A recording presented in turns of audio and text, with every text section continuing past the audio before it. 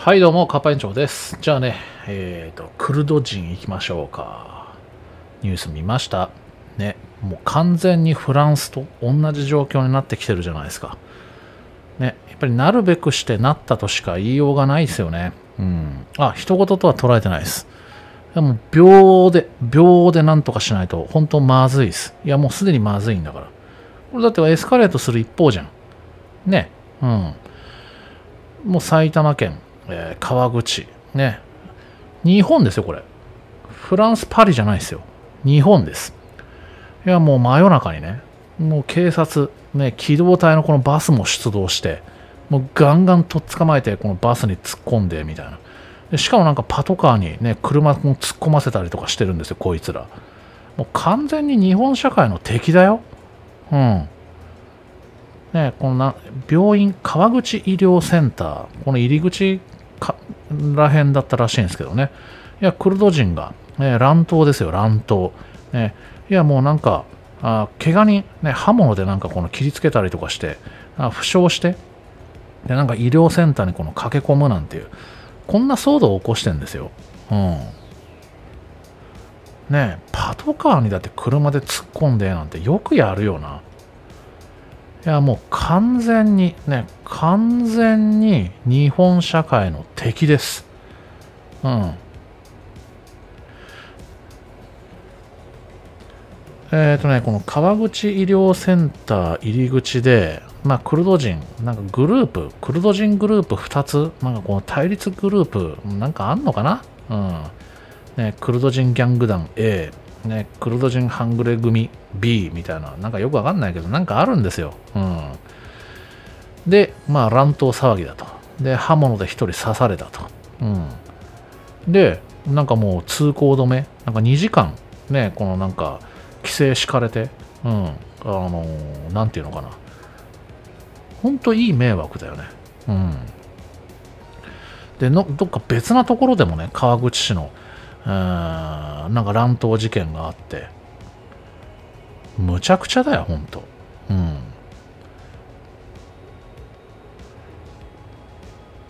いやもうほんとなんていうのかな。一人残らずやっぱり排除しないとダメですね。うん。いやもう子供だろうが大人だろうがね男だろうが女だろうが関係ないですよ。うん。やもう日本社会の敵です。日本の敵です。うん。で、なんかね、えっ、と、奥富川口、えー市議っていう方が、まあ、正確な情報を掴んでたらしくてね、一番早く。えっ、と、なんて読むんだろうな。安楽亭の安に、えー、更新のこう、行くっていう字。で、この原っぱの原。安行原とは読まねえかな。なんて読むんだろうね。まあそこがあ地名な、地名らしいんですよね。うん。そこでなんか、あの、対立グループ、なんかグループの、なんかね、このクルド人同士の、なんか喧嘩、喧嘩っていうか乱闘騒ぎがあって、まあ刺されたやつがいて、でそいつが自力でこの救急センターに来たら、あまあ集まったこのクルド人が、またなんかそこでね、病院前で、救急センター前で乱闘騒ぎ。うん。で、えー夜10時半から2時間ほどね、えーだからもう本当夜中ですよね。まあ交通機能がストップしてたんだって。うん。まあなんかね、この解体屋、解体屋がなんか拠点になってんですよね、こいつらのね。うん。で、えーまあなんか複数グループがある、あるみたいで、ね、まあ解体屋 A で、このなんかその、そこを根城にしている、うん、なんかこのグループ A であとこのまた解体屋 B でそこを根城にしているえグループ B みたいな。だからもう縄張り争いだよね。勝手に日本でふざけたまねし腐ってよ。え？でいやもう構想になってるんですよ。だからもうクルド人、えーえーなんだろう。クルド人ヤクザみたいな。ヤクザとは言わないか。まあクルド人ギャングですよね。うん。の、えー構想があーもう起きてるんですよ。うん。ふざけてるよな。うん。何日本国内で好き勝手やってんの？だからもうこれやっぱりさ、ねうん、招き入れたやつ。で、こいつらを支援してるやつ。それを支援表明してるやつ。あとこの、まあ当然具体的にね、このなんか、あ小遣い稼ぎにさ、ね、この不良弁護士どもがね、絡んでるわけだろ？うん。支援団体もそうだし、えー、だこれをこの放置している、やっぱまあ一番この辿っていくと結局日本政府だよな。うん。ね、だもう関わったやつは、ね、過去遡って、ね、全員とっ捕まえてぶち込め。マジで。日本社会を混乱させた、直接混乱させてるのはこいつらトルコ人、あ、トルコ人じゃない。ごめんなさい。トルコ人じゃないですね。クルド人ですよね。このなんかクルド人とトルコ人がなんかね、あのー、騒ぎを起こしたなんていう話もあるんですよね。まあ確かあの大使館前でね、うん、なんか騒いでたんで、この埼玉県川口市の病院前の騒ぎもクルド人とトルコ人なの？これ。クルド人同士っていう話だったけど、クルド人同士じゃないのかな？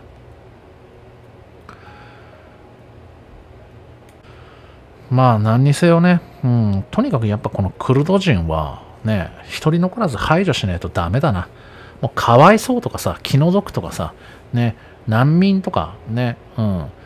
あそういうのもなんかそんなこと言ってる場合じゃないです。場合じゃないというかもう花からやっぱりね日本だってそもそも日本社会ってさね一応格好としては日本の世話になってたわけだろ？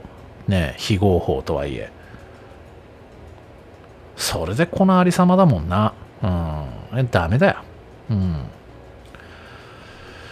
まあ埼玉県警の人はね本当お疲れ様ですけどもうんいや、もう、ね、徹底的に、ね、徹底的に取り締まって、ね、二度と日本に入ってこれないようにしてもらわないと困るよ。うん、我々が安心して暮らせないもん。うん、とてもじゃねえけど。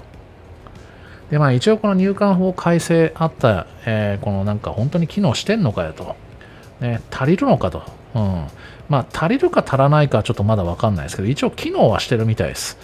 えー、外国人この在留資格大量に取り消しが始まっててもう例えばどん？前年同期比か。去年と比べるともう現時点で40%以上増えててあの取り消しがですよ。だからもう内訳としては偽装結婚とかこう学歴詐称とかもう次から次へと片っ端から摘発して摘発して本当に叩き出せてるかどうかですよ。いや問題はそこなんですよね。そうそうそう。在留資格を取り消していると。うん。もうそこまではいいと思うんですよ。うん。だからそんなに簡単にね、日本にこの在留できる資格がね、手に入るもんじゃねえんだよと。うん。なめんなよっていうとこですよね。うん。で、その取り消されたやつがどうなってるかですよね。え、問答無用で排除されてんのか、ね、国外退去までやれてんのかどうかじゃないですか。だってそもそも不法滞在している輩はさ、ね、えだってもう在留資格とかね、なくてもなんか居座り続けてるわけでしょ？うん。逃げ回ったりとか潜ったりとかさ。もうあの手この手使って日本にしがみついて、ね、うん。被害者面で権利を主張してきやがった奴らじゃないですか。そう簡単に諦めるとは思えないんですけども。だそこをね、うん、青みたいにこのね、この厚労省みたいに、ね、人道的見地からとかってね、脳書き垂れてるんじゃなくて、ね、ダメなもんはダメだよ。違法は違法なんだからさ。ね、違反者は違反者として、犯罪者は犯罪者として、徹底的にね、とっ捕まえてぶち込んで、ね、どんどん排除していかないと。日本社会から、日本国内から。っていうとこまで本当にちゃんと淡々と、淡々とやりきってくれてるのかしらっていう、そこじゃないですか。うん。だまだまだね、隙があるというか、もっともっと厳格化うん、厳しく厳しくね、うん、徹底的に、片っ端から、ん、まあ、具体的に何をどうすれば締め上げていけばいいのかちょっと分かりませんけども。でもまだまだ甘いと思うしもっともっとなんかそんな件数なんてもっとなんか桁違いに上がってこなきゃおかしいと思うんでね、うん、もう徹底的にやってもらわないとね。うん、学生だろうが社会人だろうが、ね、技能実習生だろうがなんか留学生だろうが何だろうがですよ。うん。だからそうだな。我々のこのなんか肌感覚的な日常生活でその辺、あ、コンビニとかが分かりやすいんじゃないですかね。コンビニ今行けばさ、まあ、あと、このファーストフード店とかもそうかな。あの、牛丼屋さんとかさ。なんかじゃそういうお店に行って、ね、うん。いつ頃からかものすごい外国人の割合ってもう増えて、今もう変な話、コンビニの店員とかって日本人いなくねっていうぐらい、ね、もうなんかオーナーの、ね、お父さんお母さんぐらいじゃねえかみたいな、そんな状況じゃないですか。あれがもうガラッと、あれ？また日本の学生がバイト君がやるんだみたいな。っていうぐらい戻れば、ね、この辺が徹底的に取り締まられてんだな、ちゃんと機能してんだなっていう一つの判断基準になるんじゃないですかね。うん。まあ今コンビニで働いてるこの外国人の人たちが全員って言ったらちょっと言い過ぎなんでしょうけども。でもそれぐらいなんかね我々が日常生活であってこのなんか、うん、一つのなんかそういう目安になるのは、うん、多分コンビニの従業員ね、うん、今もうほとんどどっから来た何さんだかよくわかんない人いくらでもいるじゃん。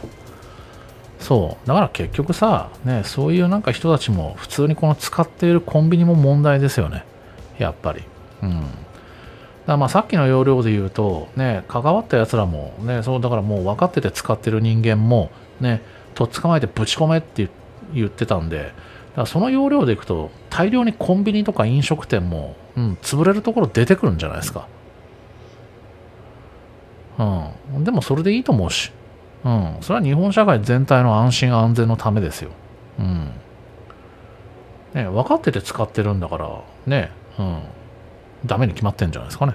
うん、そこもちゃんときっちり取り締まりの対象にするべきですよね。ってなると、やっぱりなんか、うん、そうだな。いろいろとなんかそういうやつらのこのなんか母体というかさ、なんかそういう組合とか協会とかなんかそういうの出張ってきてさ、そういうなんか取り締まりも適当なところで切り上げさせるようななんかそういう方向に働いたりとかするのかな汚ねえよななんかねうんただまあなんか中にはねかつてのなんかイラン人のようにねさーっとねもうがっつりさーっと片付いていくだろうっていうなんかそういうね見立てをしている人もいるんで本当にそうなればいいんだけどねうんまあとにかく急いでね、うん、掃除をしてってもらいたい。掃除を。ね。うん。だって我々日本まで日本たちは日本国民が、ね、安心して安全にね、この暮らして、ね、次の世代もその次の世代も、じゃなきゃダメですからね。うん。かわいそうとか気の毒とか人道的検知とかわけのわからんこと言ってるやつも逮捕しちまえよ。ということで今回以上でされてございました。ではまたごきげんよう。